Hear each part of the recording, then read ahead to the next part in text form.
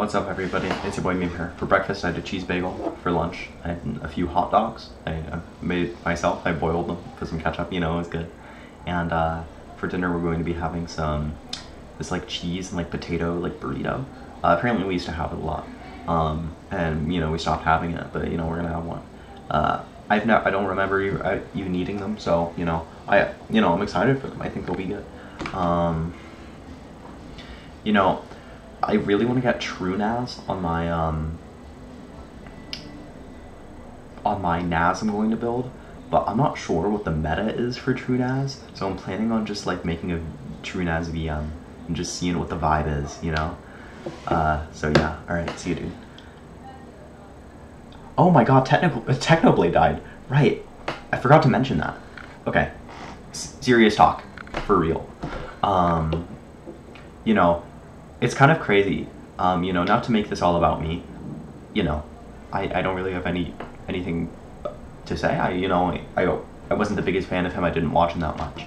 Uh, but what I can say is that um, the way I found out was I was playing TF2 on this um, this community server, this 24/7 like like 32 player like two fort server, right? And this guy said, "Yeah, Techno Technoblade died," and I was like, "What?"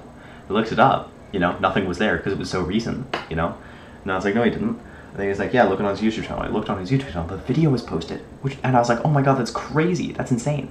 Um, and you know, it's really a shame. And you know, I really feel like people are going to be talking about this for like probably like a dozen years, like uh, like Etika, and um, man, it's just wild. And uh, you know, cancer really sucks. And um, you know, it's a shame that you know people have to go through this. And you know, I could only imagine. Know, I'm part of a Discord that's like um, aligned with with people who who would enjoy his content, and uh, you know, uh, it's crazy. They're they're devastated. I cannot imagine being a big fan of him uh, right now because you know it must be crazy. You know, when when Etika died, I was really I was pretty young, right?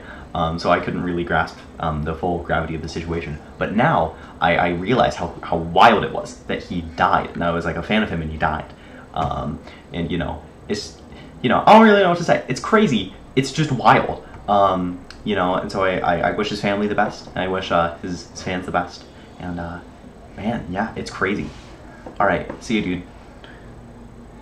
Should I smile and do a thumbs up at the camera after talking about someone dying from, from cancer? I don't know.